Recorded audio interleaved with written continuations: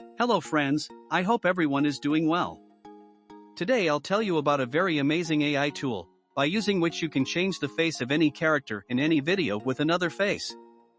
It is very easy, and this tool is also completely free, so, let's get started, but first a disclaimer.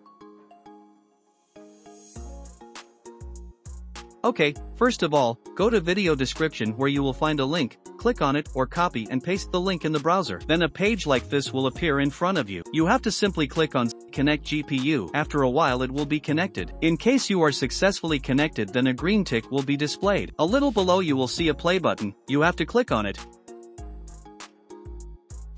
Click run anyway, then it will take some time. When it is completed, a green tick will be displayed here as well. After that, you have to scroll down a bit. Here you can see a play button under the download model, click it and there will be green tick here, the file option on the side. You have to click on it in here, you have to click on upload file, select your desired files here. Also remember your video and the face photos that you want to upload here. Remember one thing that whatever file you have to upload here, you have to rename it into something small. Also remember that there should be no spaces in the middle, I rename it something like this. I want to replace the face in this video with the face of this girl.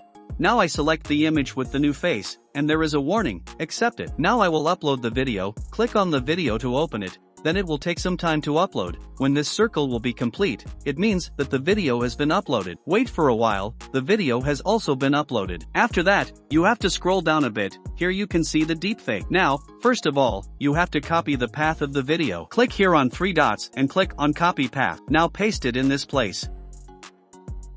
Now we have to copy the path of the image and upload it in place of the image. You have to select from this slash and also press Ctrl V. After that, you have to click on the play button, that's all the work. Now it will take time according to the availability of the server, sometimes it takes 10 to 15 minutes. It may also take up to 30 minutes or more if the duration of your video is too long. Let's wait. Also don't close the website or reload or refresh. When it is completed, you will see the notification of completed here. You can see that it took 24 minutes and 11 seconds to complete it. Now the file you have created will be here with the name of swap.mp4. You have to click on its three dots and click on download. It will download. Our file has been downloaded, open it from the folder.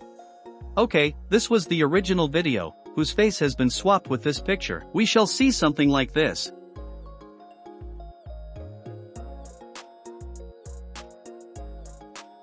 You can see that she has nailed it perfectly without lag. Now make videos like this for yourself and give me your feedback by commenting whether you liked it or not. If you like it, please click like on the video as well. If you are first time on my channel, subscribe and press the bell icon. See you later. Until then, peace.